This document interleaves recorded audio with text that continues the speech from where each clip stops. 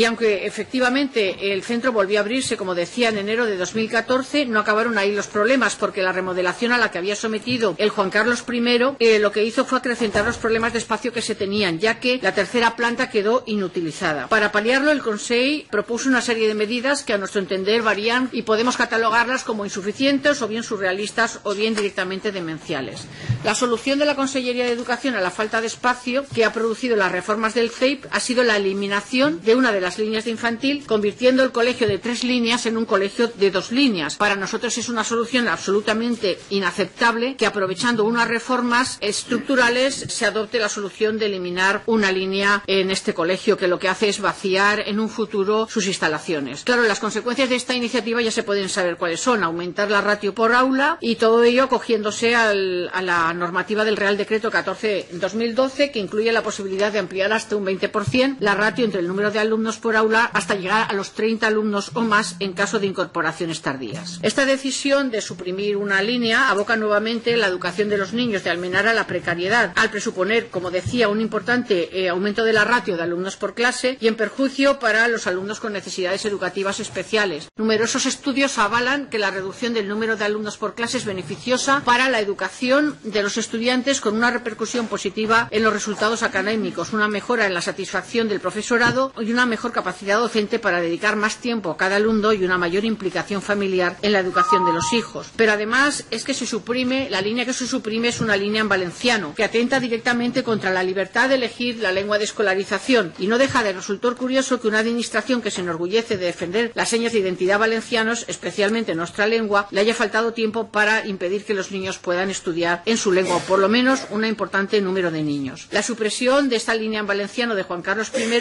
resultará especialmente perjudicial para todo el municipio de Almenara. Eliminar una línea de valenciano en el único CEIP en un municipio donde el uso social del valenciano es abrumadoramente mayoritario supone que el alumnado del municipio pierde derecho a poder escolarizarse en su lengua en la ciudad donde vive.